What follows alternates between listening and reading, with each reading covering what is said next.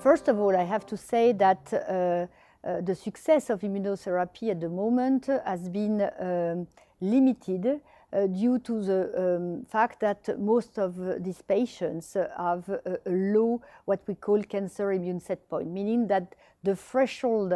um, beyond which we can reinstate tumor immunosurveillance in a given patient might be variable uh, depending on uh, the genetics of the host, the genetics of the cancer, the comorbidity, uh, the co-medications, uh, the environmental factors, and all of these cues will influence uh, what we call the cancer immune set point, which is a very threshold beyond which an immune uh, response can ensure.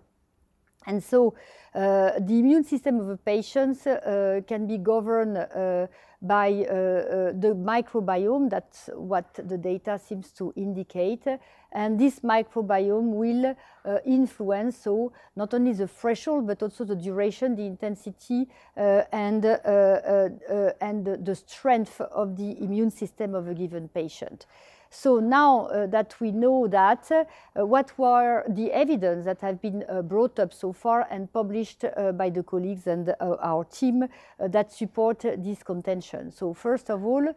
we were able to show that antibiotics, broad spectrum antibiotics, whether beta-lactamines or fluoroquinolones or tetracyclines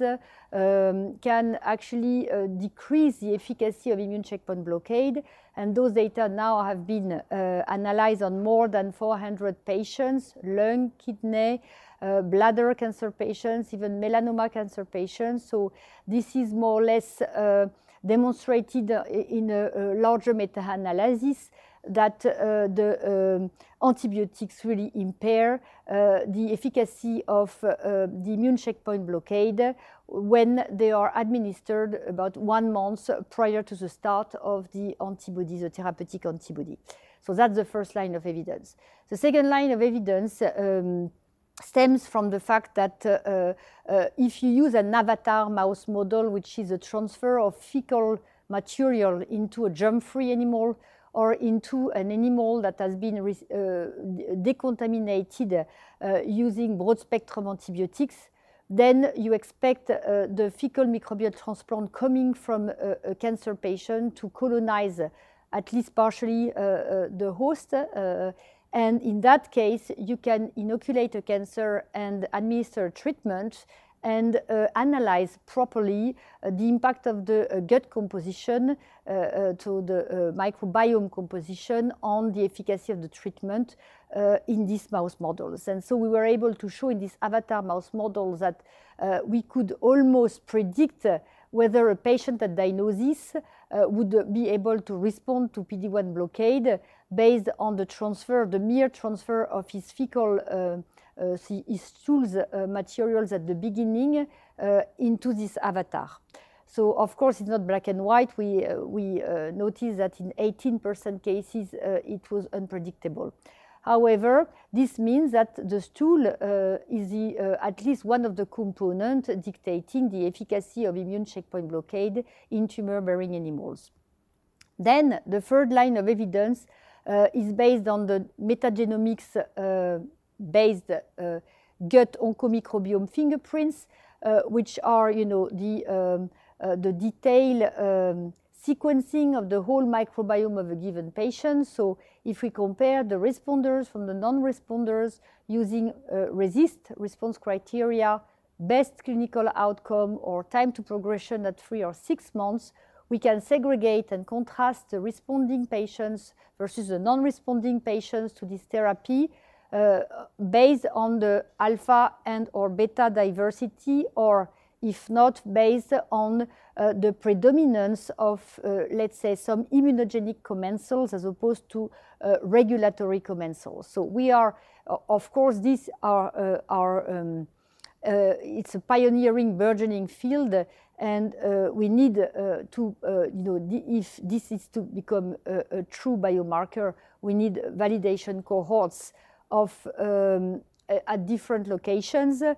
with different type of treatments what we are trying to do at the moment. But i will come back to this notion later. But basically what we would like to call GOMS so gut oncomicrobiome uh, signatures uh, uh, appear to, to at least segregate at diagnosis uh, the patients prone to respond or doomed to fail the therapy. And then the fourth line of evidence um,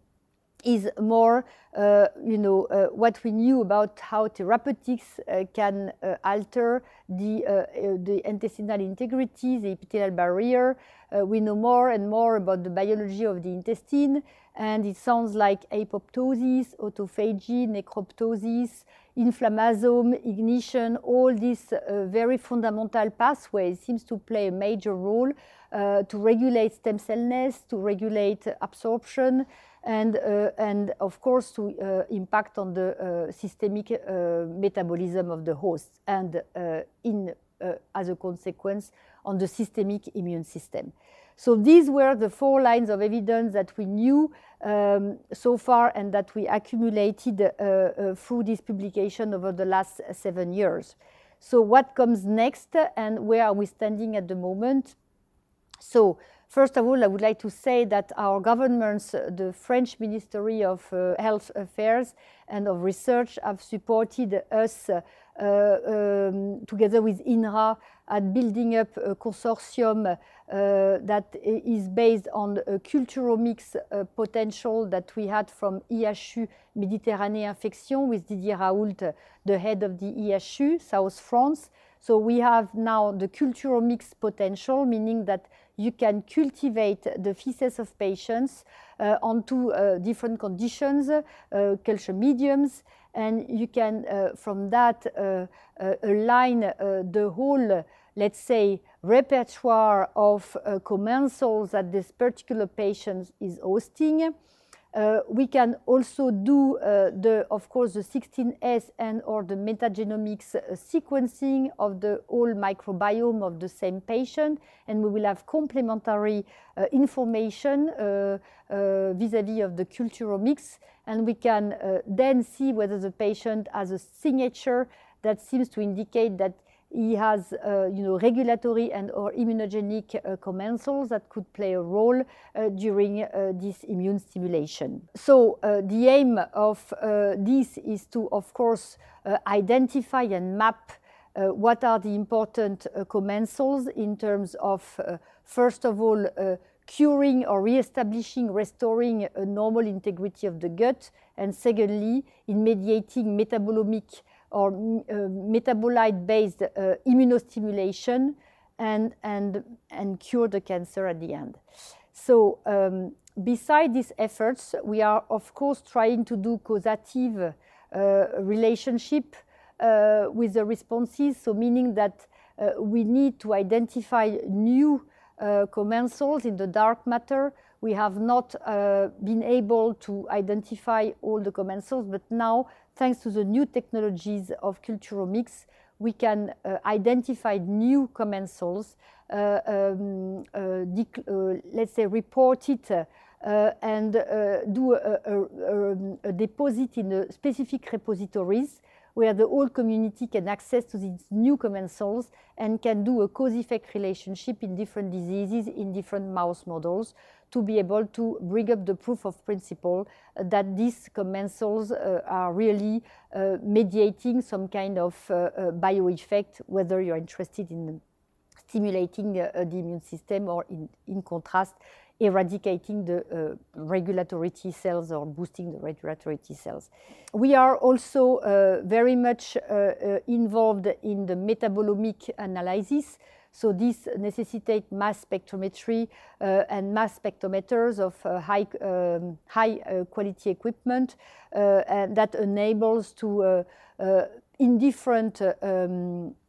in different um, liquids, so ileum uh, colons, but also the plasma, the liver, the heart, and the uh, omentum uh, fat tissues, we can identify the, uh, the metabolites that can be uh, inferred from the administration of a given commensal so that uh, we have also a better view of uh, what we are uh, modulating when we are performing an oral gavage uh, with distinct microbes. So it's important also to say that uh, these, these microbes uh, uh, will be at some point combined together to give a, a, single medication. And at the moment, several biotech companies are trying to uh, figure out uh, what would be the ideal consortium, the minimalist ecosystem that would be able to kill two birds with one stone, re-establish normal abiosis in these cancer patients, and uh, go further trying to boost the immune system and to synergize uh, with the therapies. So, of course, we are not sure one size will fit all. First of all, uh, some cancer patients might have specific dysbiosis depending on the cancer type. Uh, secondly, uh, some therapeutics might also switch on and off uh, or modulate the microbiome composition. And it will be of interest in the near future to distinguish uh, what is the participation of the disease uh, in the dysbiosis and what is uh, the involvement of the therapy in modulating this dysbiosis. And of course, we would like to propose at the end uh, maybe a personalized therapy with uh, the ideal microbiota of the patient, but more uh, probably we will be able to come up with a mixture of uh, commensals that will be able to repair the, the, the, intestinal barrier of disease patients and also maybe another uh, consortium which will be able to reinstate uh, uh, you know, humoral and cellular immunity against cancer. And this is uh, presumably also something of importance. Uh, now, I would like to finish in prophylaxis. So, of course, we are now more and more interested in looking at what diet is doing on the microbiome composition. We recently heard from the colleague in Israel, the Weizmann Institute, and my colleague Jenny Vargo at MD Anderson that the diet may impact on um, the, the, microbiome and re, uh, reversely, conversely, the microbiome will impact on the diet. Uh, metabolism, so it's an intertwined relationship that is not easy to dissect at the first place. But presumably, we will go into a direction where the best commensal, the best mixed of uh, the minimalist ecosystem will have to be combined with an appropriate diet in order to enable these uh, commensals uh, to establish, colonize uh, in a long um, term um, process and not just a short term process. And so at the moment, uh, the investigators are trying to uh, uh, at least understand uh, in cancer patients what kind of diet, whether it's fasting, intermediate fasting, or you know ketogenic diet or fiber-enriched diet. So at the moment, there is an agnostic view on what to do. Uh, more importantly, we will have to monitor uh, plasma and or you know tissue uh, related biomarkers to be able to have a follow uh, a, a, a pharmacokinetic uh, assessment of what the diet is actually introducing in the host so that we will have a hallmark biomarker of uh, bioactivity of the diet, if I can say so. And we should be in a position where we will know that the diet has induced, uh, uh, you know, complete bioactivity and biology, and we will know how the gut microbiome of the host will have been uh, modified. So uh, this is what currently the efforts are uh, redirected uh, to, to, and we have hope that some foundations that are currently helping the, the academic institution are um, really uh, in, um, in love with the idea of trying to uh, get the patient participate in his own cure by just doing its own uh, uh biotherapy by eating uh, the right uh, food composition so that he will redirect his own microbiome in a you know in towards an optimal um, biosystem ecosystem. That's one thing that we are thinking about. And then the second thing, of course, is try to understand whether uh, the microbiome can cause cancer, so can cause inflammation, and from chronic inflammation can increase the propensity of a given subject to, uh, uh, to uh, increase his, his likelihood to develop a cancer. And so we have, uh, at the moment, uh, we are launching the Oncobiome Age 2020 uh, network in Europe. So there are, uh, this is a, a wide geography uh, distribution of uh, geographical distribution of all the investigators are trying to um, have feces, collection of feces prior to developing any type of cancer. And we will, uh, we will be in a position within the next uh, three years, I think, to come up with uh, the validation or the invalidation of the idea uh, that dysbiosis can actually cause cancer or at least uh, some cancer types. So with that, I think that uh, there is a lot of uh, impetus and enthusiasm from the biotech company and the big pharma now to come along uh, with academics and also big hospitals to be able to really launch clinical trials that will either uh, um, start from PD-1 resistant, anti-PD-1 uh, therapy resistant patients that will receive either fecal microbial transplantation of responding and cured patients or will uh, get an, uh, a mix of uh, commensals or spores that will uh, re-establish a proper ecosystem. So these are currently um, ongoing at the University of Pittsburgh, at the MD Anderson in Texas, uh, in France, we have also uh, MaaT Pharma with the enema-based uh, um, uh, re-administration of biotic fecal materials. we also have Vedanta, who is coming up with an 11 mix of um, um, commensals uh, that seems to uh, uh, be very broadly effective against wide ranges of mouse tumors and there are also other investigators that try to um, now uh, look at the phages that are inserted into the commensals. These phages uh, bear, they are viruses of the prokaryotes, so they might uh, mediate an immunogenic or an antigenic um, response as effective as the one that we know for human viruses towards uh, eukaryotes. So uh, some interesting Preclinical studies indicate that it could be the case and that phages can be also another way, phagotherapy could be another way to approach the diversity and to harness the diversity of the microbiome. And more to come, presumably also on the side of ARCHI, which are uh, far ahead, but uh, that also uh, may open the question of the inter-kingdom relationship and, and this interactive networking in our gut.